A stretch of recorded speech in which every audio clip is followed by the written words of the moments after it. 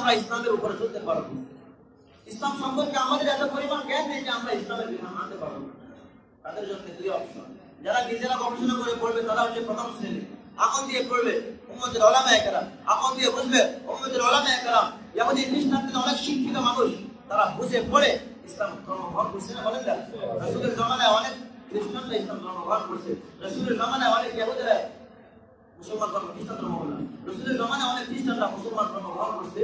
খ্রিস্টানরাও ইসলাম ধর্ম গ্রহণ করছে। মুসলিমরাও ইসলাম ধর্ম গ্রহণ করছে। নিজে বলে জেনে বুঝছে যে মিথ্যা বলতে পারে না।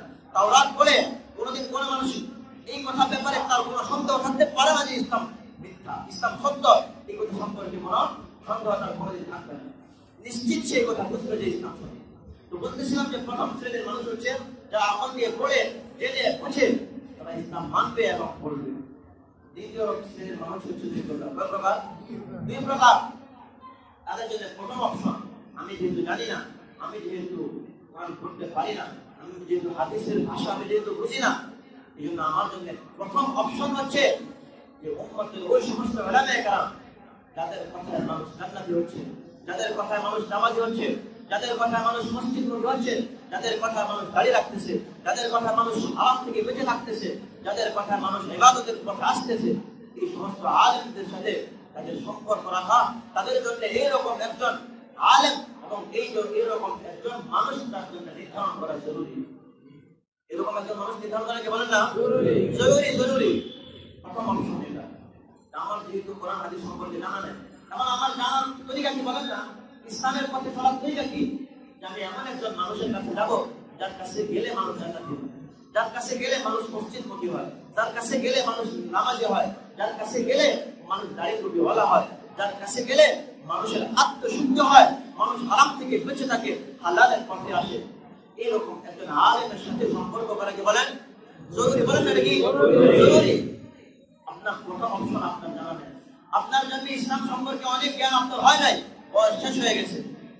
কি জরুরি বলেন? একজন আলেমের সাথে সম্পর্ক করা আপনার জন্য জরুরি, নিজের ইমানকে হেফাজত করার জন্য। যদি আপনি এটা না করেন, যদি এটা না করেন, কোন ইহুদি খ্রিস্টানদের যদি কোন পড়াশোনা নাই, তাহলে তার জন্য জরুরি হচ্ছে যে মানুষরা ইসলামের পথে আসে, ইসলামের স্কলার যারা, তাদের সাথে সম্পর্ক করা। তাহলে তো সে বুঝতে পারবে, বলেন না? তাহলে সে কি করতে পারবে? বুঝতে পারবে। জানতে পারবে। জন্য আমরা অনেক আমাদের অধিকাংশই তো এমন। এরা আমরা ইসলাম সম্পর্কে জানি না। জন্য আমাদের প্রত্যেকের জন্য জরুরি কি বলেন নির্দিষ্ট একজন মানুষের সাথে সম্পর্ক করা। নির্দিষ্ট একজন আলেমের সাথে যার কথায় মানুষ মসজিদমুখী হয়, যার কথায় মানুষ নামাজি হয়, এরকম কোন আলেমের সাথে সম্পর্ক করা। কথা বলেন না কেন আপনারা বুঝতেছেন? বুঝতেছেন না? তিন নাম্বার শ্রেণি। যাদের জানা নাই। নির্দিষ্ট কোনো আলেমের সাথে সম্পর্ক নাই। এদের জন্য জরুরি হচ্ছে যেখানে ওয়াজ মাহফিল হয় সেখানে যাবে। কোনো নির্দিষ্ট কোনো তাহলে কোন জায়গায় কথা হয়, কোন জায়গায় ইসলামের কথা হয়, সেখানে কাম করে থাকা। সেখানে কি করে থাকা? কাম করে থাকা, এটা তিন শ্রেণি নির্দিষ্ট কেউ তো নাই। দিনের কথা শুনলে সেখানে ছুটে যেতে হবে। অনির্দিষ্ট ভাবে যেখানে ইসলামের কথা হবে, সেখানে ছুটে যেতে হবে। যদি এইরকম অবস্থা হয়, তাহলে এই তিন শ্রেণির মানুষ ইসলামের পক্ষে আসতে পারবে, ইসলামের পথে আসতে পারবে। তিন প্রকারের কোনো প্রণালী তার কাছে নাই, সে ইসলাম সম্পর্কে নিজে জানে না, নিজে পড়ে না, নিজের কোনো গবেষণা নাই। দুই নাম্বার, নিজের কোনো নির্দিষ্ট আলেমের সাথে সম্পর্ক নাই। তিন নাম্বার, ইসলামের কথা শেখানো হয় শেখানো যায় না। যদি তিন শ্রেণির কোন প্রকার তার কাছে না থাকে, তাহলে নিঃসন্দেহে এই লোক পথভ্রষ্ট হবে। এই লোক ইসলাম থেকে দূরে সরে যাবে, এই লোক রাসুলের সুন্নত থেকে দূরে সরে যাবে। এই জন্য আমরা ইসলামের পথে আসার জন্য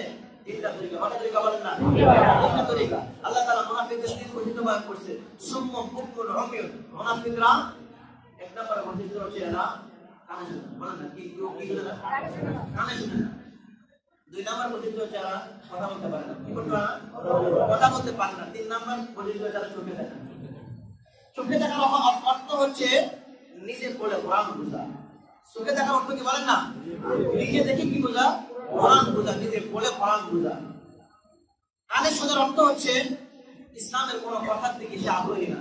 মুখ্যমতার অর্থ হচ্ছে, কোন আলেমের সাথে তার সম্পর্ক নেই। কোন আলেমের সাথে তার কি সম্পর্ক নাই সুম্ম বুকমন রমিয়ন মুনাফিকের তিন বৈশিষ্ট্য থেকে বিপরীত বৈশিষ্ট্য যদি আমার মধ্যে আনতে হয়, তাহলে আমি হয়তো আলেম হইতে হবে। যদি আলেম না হয় তাহলে কোনো আলেমের সাথে আমার নির্দিষ্ট কারোর সাথে সম্পর্ক থাকতে হবে।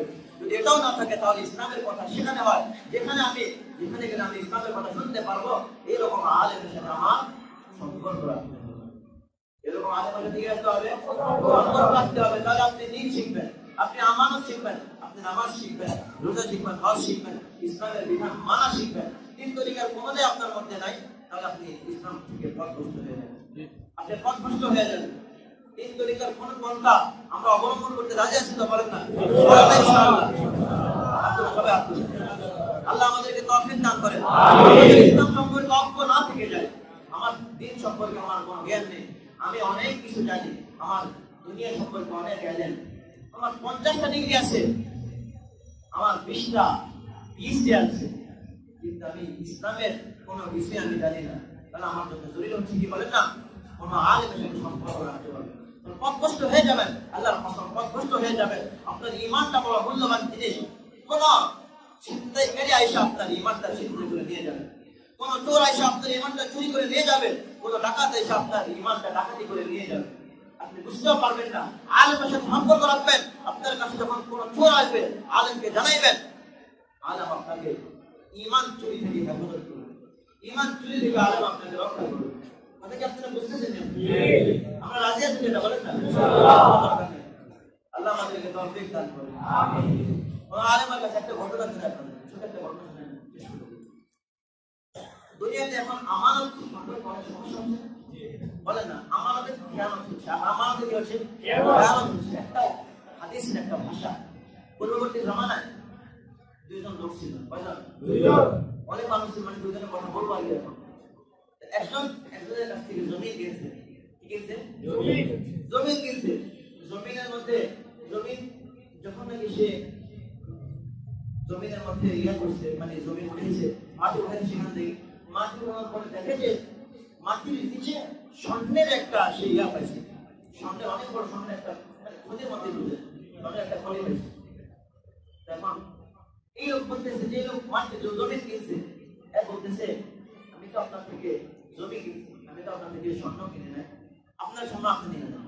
আপনার স্বর্ণে, আপনার স্বর্ণ আপনি নিয়ে যান। যে বিক্রি করছে সে বলতেছে আমি তো আপনার কাছে জমি এবং জমির মধ্যে যা আছে সব সব কিছু আমরা আপনার কাছে বিক্রি করে দিয়েছি। এটা আমি নিতে পারব না বরং এটা আপনি এটা ঝগড়া তো এটা বলেন না। এটা ভালো ঝগড়া না খারাপ ঝগড়া ভালো না কেন? ভালো ঝগড়া তো? সর্বশেষ উল্টা ঝগড়া সব কি হয়? এখন ঝগড়া হচ্ছে কি? উল্টা। এবারে বিচারকের কাছে গেছে বলেন আপনি আমাদের মধ্যে সমাধান করে বিচারকের কাছে কি বলে? আপনি আমাদের মধ্যে একটা কি করে দেন? সমাধান করে দেন। আমার কাছে সমাধান নাই। তবে আমি একটা কথা বলতে পারব। কথাটা হচ্ছে আপনার কি কোনো ছেলে আছে? বলে আমার ছেলে আছে। বলে আপনার কি মেয়ে আছে? বলে মেয়ে আছে। বলে দুইজন দুইজন ছেলে মেয়ের সাথে বিবাহ দিয়ে দেন আর এই স্বর্ণটা ছেলে মেয়ের মহল হিসেবে দিয়ে দেন। মহল হিসেবে দিয়ে দেন।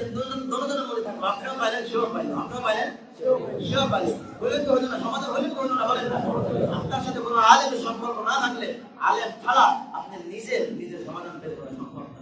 বলেন না, এই লোক এই সমাধানটা পাইলো, কেন পাইলো? আলেমের সাথে তার সম্পর্ক আছে। কার সাথে সম্পর্ক আছে? আলেমের সাথে সম্পর্ক আছে। আমরা সকলেই আলেমদের সাথে সম্পর্ক রাখব, আজ থেকে ছিন্ন হয়ে যাব, তো আমি দিন থেকে ছিন্ন হয়ে যাব। আমার ইমান আমি আলেম থেকে শিখব, আমার দিন আমি আলেম থেকে শিখব। আল্লাহ আমাদেরকে দান করেন।